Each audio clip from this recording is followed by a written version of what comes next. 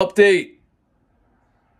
James Harden remains out tonight against the Portland Trailblazers. The Sixers are calling this conditioning to return to action. anyway, James is not playing tonight in the home opener against the Portland Trailblazers. It was like the it was the question of the day. It was is James Harden really going to come to Philly and play? Is he going to get booed out of the damn arena? Um, what's it going to be like? Is it going to be weird? Is it going to, you know, and he's not playing. So there's still not a you know, James Harden's going to play for the Sixers thing out there yet, really. Like it's still James said he's never playing again. He didn't show up to practice. He showed up to training camp so he wouldn't get fined. He didn't. He then he disappeared, didn't come to practice. Then apparently he tried to join the team to travel to Toronto, and they told him to stay back. The NBA investigated and is probably fining the Sixers for resting healthy players.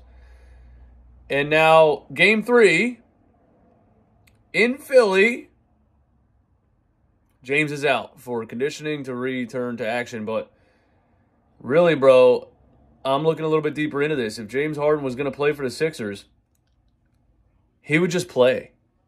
He would just play ball. You know, this isn't we're not training to go to war, dude. We're playing a basketball game. And and at the same time, what better team to bring him back against than the tanking Portland Trailblazers without uh uh uh uh, uh what's his name, man? Uh, uh uh you know who I'm talking about, the young bull. He uh fractured his finger or something like that. Um Simons, Anthony Simons. Sorry, I'm tired. Uh, my brain doesn't work when I'm tired. But what better team to bring Harden back than against the Trailblazers? And he's not playing tonight. Also, Joel Embiid is questionable um, after playing the first two games of the season. Tonight is a back to back. They travel from Toronto back to Philly and play within 24 hours, which, again, thank you, NBA, for the schedule. But um, Joel Embiid is listed as questionable. Uh, and it's labeled in in quotes rest. If he doesn't play tonight, is because of rest. This is I I, I, I I'm I'm I'm losing it here because I'm not understanding. The NBA is saying you can no longer rest healthy players. They're trying to crack down on load management, and the Sixers are like, "Hey, Harden's not playing because he's not ready yet, and Embiid's not playing because we're resting him."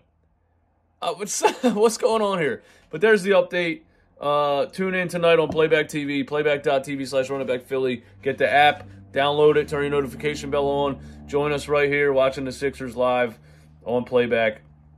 Uh, it's a vibe. You know, no matter what the team looks like, it's a vibe. I'm excited to watch Tyrese Maxey tonight. Again, I didn't get to watch him last night. And it'll be interesting to see, even against the Trailblazers, who are bad, the Sixers should blow them out. Um, without if if he does play without Embiid and without Harden, you know, can Maxey lead us to to a convincing victory over this team and drop like a 40 piece, you know what I mean? That'd be nice. Give me your thoughts in the comments. We out here.